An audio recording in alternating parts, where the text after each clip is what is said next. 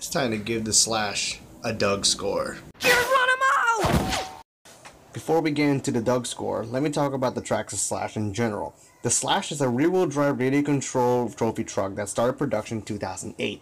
The truck is inspired by the real racing trucks used in the TORC Racing series. Since then, the Traxxas Slash has been a favorite by the radio control community worldwide. Now it's time for the Doug score. Starting off with the Celestial chart, which measures styling and performance, the Slash looks cool and with the car's large fan base, it easily gives it a good 25 points. Top speed on the stock brush motor with the optional speed gearing ratio included in the box is amazing.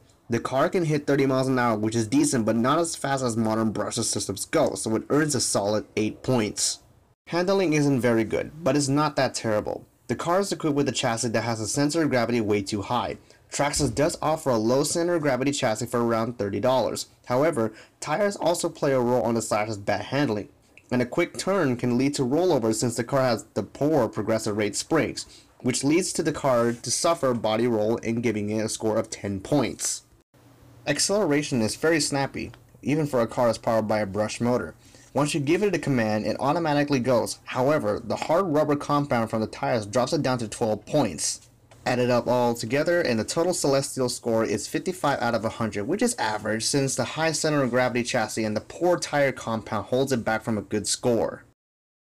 Now it's time for the lunar chart. Now the lunar chart changes the story on the Traxxas Slash. Durability is excellent. I thrashed it around a skate park near my house in Los Angeles, California, and despite a caster block breaking and shock caps popping from hard landings, it can take a good beating, giving it a score of 21 points.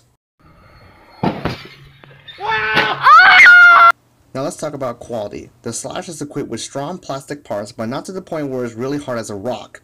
This gives it a solid 15 points. Features and equipment is the strongest point of the Slash. For different prices, you get different features. Traxxas does offer a brushless version which is faster than the stock XL5 Slash. Furthermore, if you want to get a cheap version of the Traxxas Slash, you can get the 116 scale version. If you like Ford trucks, Traxxas does offer a Raptor Slash. If you want to go hardcore, you can get the all-wheel drive Slash. Continuing with the versatility, the Slash also shares parts with the Rustler, Bandit, and Stampede. With that all being said, the Slash remains on the top for features and equipment, giving it a score of 25 points. Now finally, value. This is a question that you need to ask yourself. Since the term versatility is heavily used for the Slash, you need to ask yourself which is good for the money. I personally think that the prices the Traxxas offered is a reasonable share, therefore giving it an 18. You can argue all you want, but this is just my opinion. I have my opinions as well as you guys do.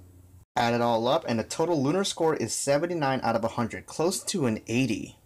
Finally, the total Doug score for the Traxxas Slash is 134 out of 200, which is not the best, but certainly not the worst. I do think the Traxxas Slash deserves its best reputation.